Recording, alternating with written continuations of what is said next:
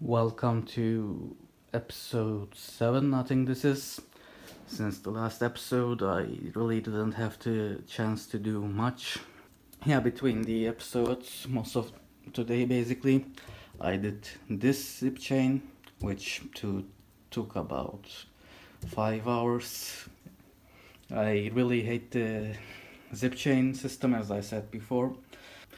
Yeah, I know I that they are designed. I mean, obviously it's a cost-saving measure, but yeah, they're annoying. They're ugly. So yeah, I don't like them, as I said before. And yeah, I think I will pretty much immediately get rid of at least some of them. I think I'm gonna keep this one for the motors and the limit switches that I still need to mount but I am planning on getting rid of these and as you can see I started dismantling it because I look at this mess it's ugly and it really feels weak as well. It's not gonna last I don't think so yeah. And there is an alternative. I'll just have the PTFE tube and all these wires running up there up to the top of the 3D printer. Basically umbilical cord design and I'll probably sleeve that bunch as well, including the PTFE tube. I actually started mounting a 24 pin motherboard connector for this. This is the other thing that I did today. I've been at this for another couple of hours and I think I've come up with a solution that will satisfy me aesthetically and the solution is basically having an umbilical cord just as I described coming from here and uh, joining with the PTFE tube and I'll probably sleeve them together running up to the center of the back top extrusion. I'll mount the Mobius around here as well for now and I, when I switch to Afterburner I'll have a spool holder system there instead so I'll still use the PTFE tube that's not gonna change. Then to route the cable. Well I could just uh, run them at the back like that and just use a back cover or run it well like so to the extrusion and behind it. Or I do have a spare drag chain from the old Black Widow. I mean it's a drag chain normally but yeah I could just use it as a cable channel because yeah well it fits aesthetically because as you can see for the uh, gantry I decided to use uh, one of the old Black Widow uh, drag chains. So Black Widow is uh, living on actually. I you know I started planning on using some of the parts and never actually ended up using them. Well here was something at least that I'm using from the old Black Widow and that along with this uh, BLTouch mounting bracket. So yeah this is for the wires onto gantry for the AMB motors and as I described everything else I will run to here. I mounted the extruder along with a triangle lab filament sensor. I haven't done the wiring for these yet as you can see. I also did the umbilical cord and yeah it runs here. I haven't sleeved this yet and honestly I don't know how I can sleeve it because on this end I already connected the cable on this end I also did the routing.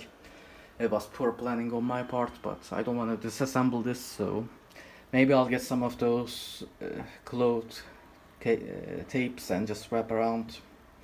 I don't know or if I'm if I feel like working on it. I can just remove the pins from the connector I guess. The PTFE tube itself is easy to remove anyway. It's just the pins that are a pain in the ass. But yeah as you can see I did that. And as I said before I use one of these drag chains as a cable routing channel basically. And here uh, I don't know, maybe if I turn the light you should you may be able to see it better. Here I am using another one of the Black Widow brackets. It's one of the belt routing brackets this time. and this will allow me to just grab the sponge and route it to the back so yeah I also did the routing for this uh, gantry uh, belt uh, cable chain as well and yeah in the end it has two 8 pin connectors. And yeah I guess that's all I did. Uh, one more thing in between. The fuses arrived two episodes ago if you remember. The power socket doesn't have any fuses. I guess you probably don't remember it what two episodes means a month ago. But anyway yeah that's all I did. I mounted the X and Y switches and also the Z switch here. And I wasn't aware that they were on the on this part of the gantry the part that moves back and forth. So yeah I couldn't completely eliminate the wires but I think this still looks better than the zip chain thing. And yeah I think I'll just as you can see I routed it here. So I think I'll just run it through the umbilical cord back to the uh, back of the printer to downside to the electronics chamber. I routed the wires for the Z switch through the heat pad hole just like the heat pad wires and yeah as you can see I mounted the heat pads.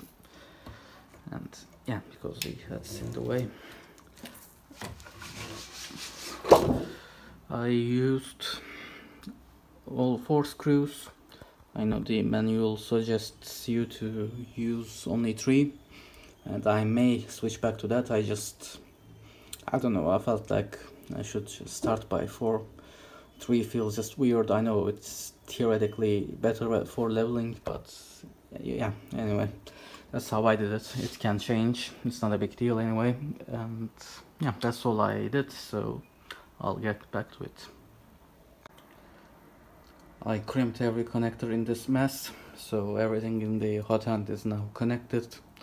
Hopefully I didn't fuck up any of the crimps and this will work. Well, we'll see when we get to testing it.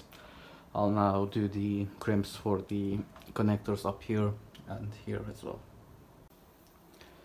I did the rest of the connectors as well and well I think there's nothing left on the 3D printer to do other than the wiring underneath and uh, covering this with Tesa tape that should arrive in a couple of days.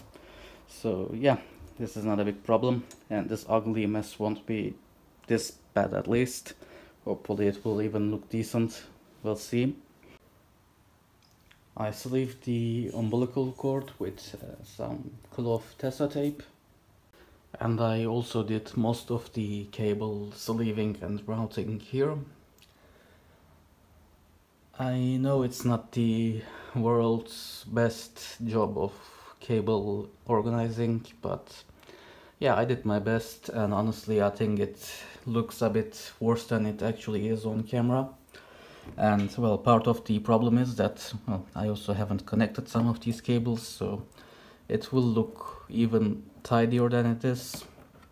And I'll put another zip tie here just to organize that bunch and yeah like these rainbow colors they'll just plug in here and they'll be in well they'll not be invisible but uh, they'll not look like the way they do at least. And there isn't too much I can do for some cables. For example this is a USB cable these 90 degree ones that I used that run to the Raspberry Pi. I had to bundle them up here. You can't really shorten those so yeah not much I can do to some cables but most of it I cut to the, the proper lengths and sleeved as you can see. Yeah I'm repeating myself but yeah. Another thing I did is I flashed the Octopi, Octopi firmware on this Raspberry Pi 4 and I also installed Klipper on this and I modified the firmware on these micro SD cards as well and I'm at the step where I have to uh, boot these SKR boards as well to finish the setup. And I'm not there yet because well I don't have the connectors for these and for that. I am waiting for my engineer PA09s I expect them to be here on Monday or something like that, so it shouldn't take that long, but yeah, for now there really isn't anything else I can do, so it's again the waiting game, just like it is with the rest of the build for AliExpress parts. Only difference is this case it's Amazon. The engineer PA09s have finally arrived. It took seven days for them to come to from America to my country, and then it took seven days to just them to deliver in this one city. Yeah, I really hate the shipping company the Amazon works with here. It's called Aramex. Never even heard of them before Amazon started working with them a few years ago. But yeah, they, they, they suck.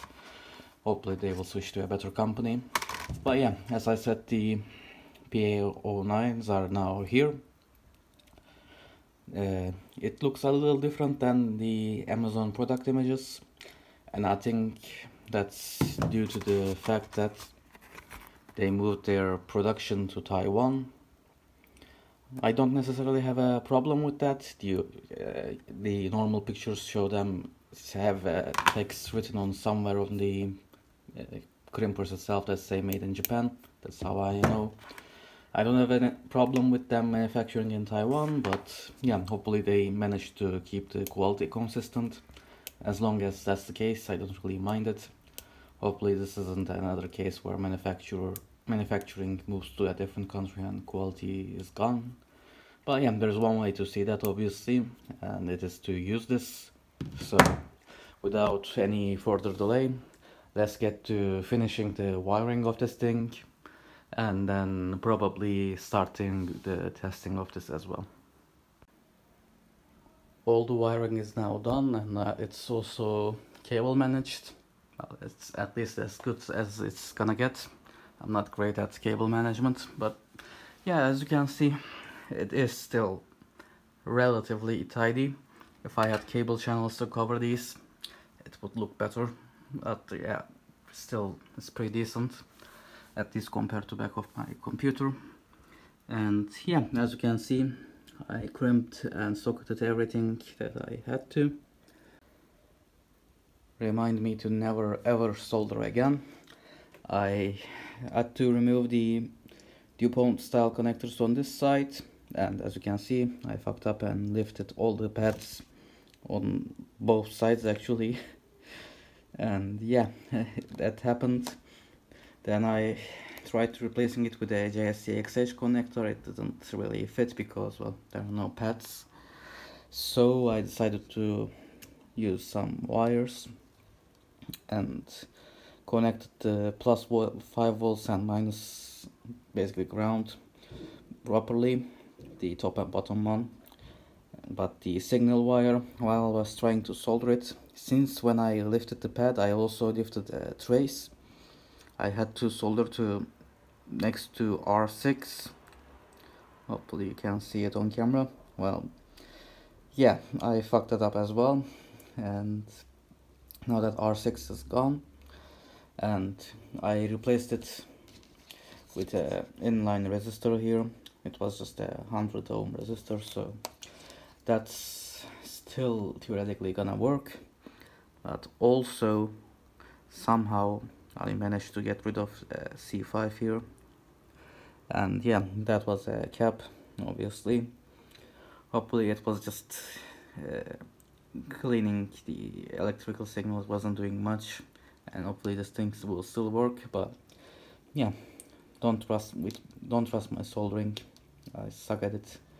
And that's why I avoid doing soldering as much as I can in case you were wondering in the past. And it's not like I don't have proper tools I just I'm bad at it so yeah that's the situation. I'll see if this works. Hopefully it doesn't release the magic smoke out of anything. We'll see uh, probably it won't work and probably it won't cause the magic smoke but yeah we'll see.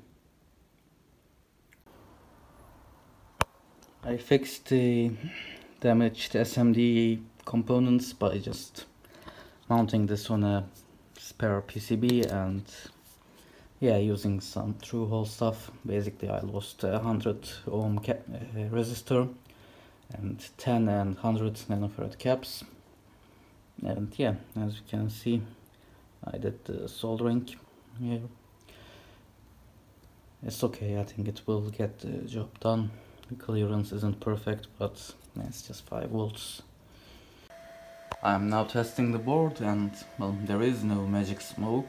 That is good news but uh, it wasn't the problem wasn't the jumper cables as I suspected before.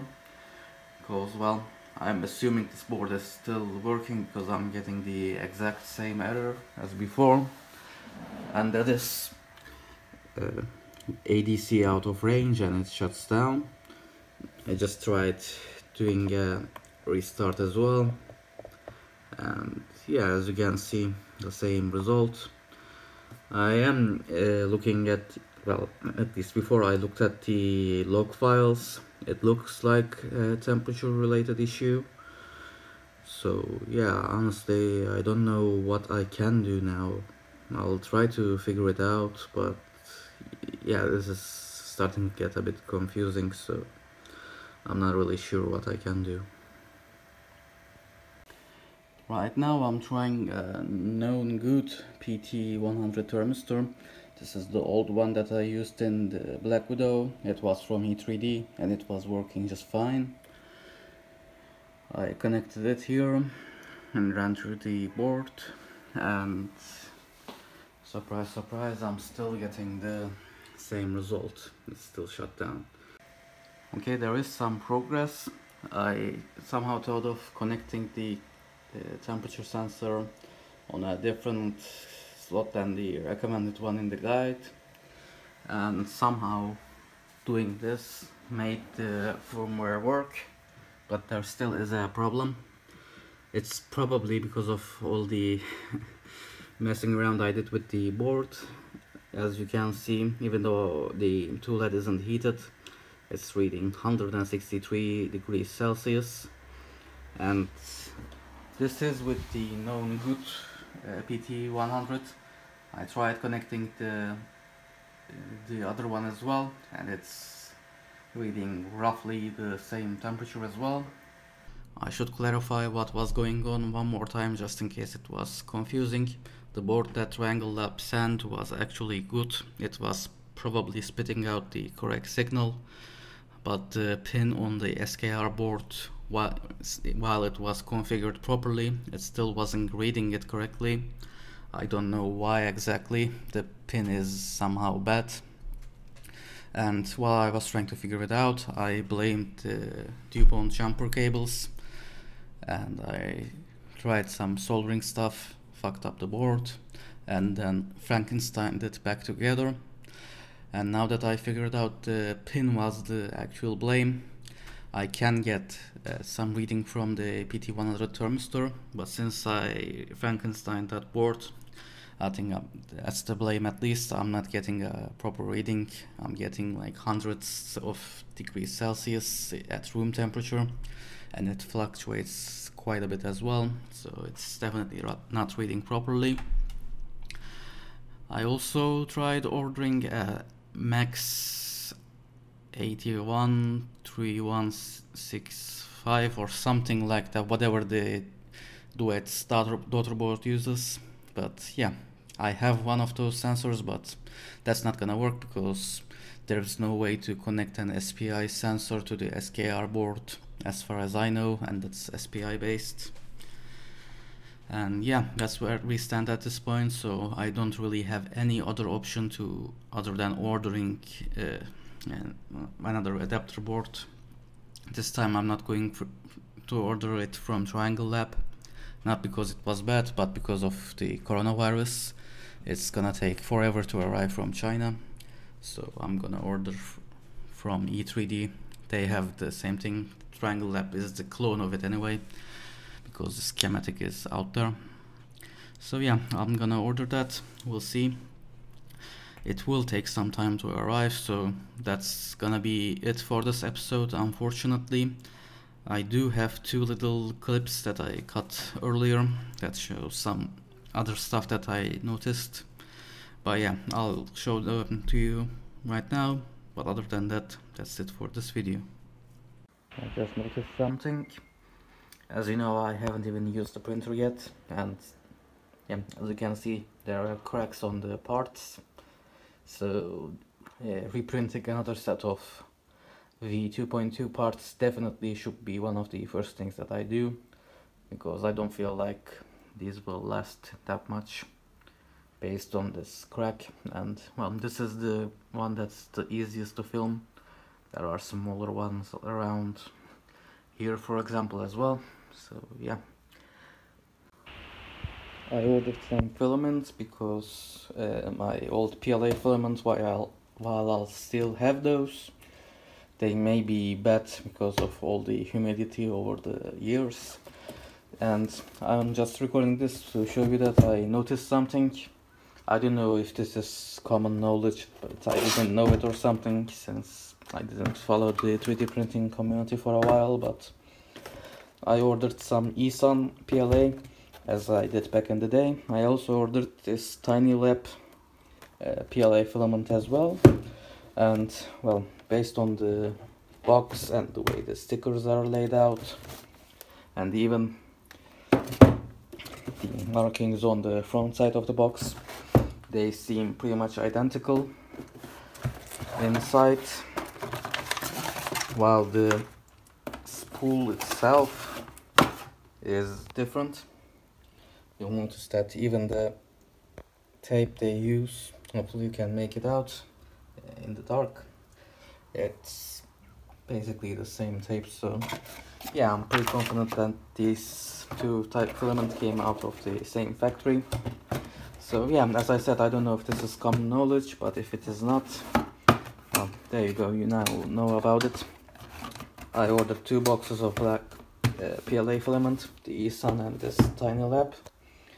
And I ordered Raise 3D's black ABS filament so that I can print some of the missing parts and if I do need the accent color I'll, I'll have to order that from Amazon because it's the Amazon Basics ABS but yeah that'll have to wait in that case. It's hard to open so whatever. Just uh, black P uh, ABS in this as I said. So that's it for this video. I hope you enjoyed it even though we couldn't do as much progress as i hoped to do and yeah if you enjoyed it please leave me a like down below and thanks for watching